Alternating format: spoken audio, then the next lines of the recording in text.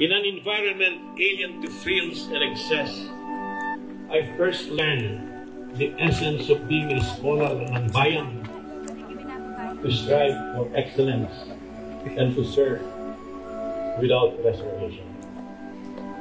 I believe that the UP graduate prepare a challenge to a pep talk, so I will not pass up this opportunity to pose one or several challenges to you. You'll be entering the real world, I believe, in a critical time in our history.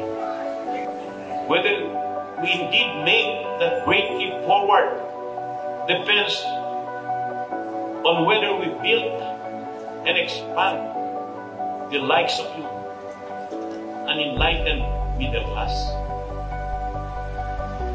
The reality is, we are created neither equal nor born equal. And inequalities have measurable impacts on our individual lives. How then do we level the playing field?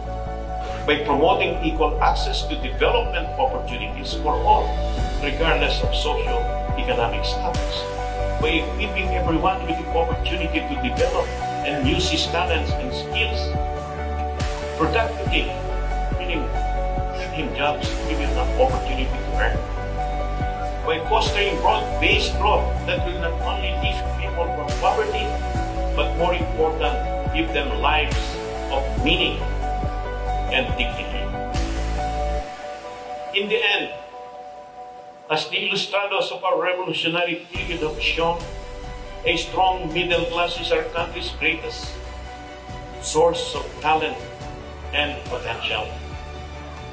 You hail from an institution of leaders and game changers with a proud tradition of excellence and service. You must be nothing less, achieve nothing less.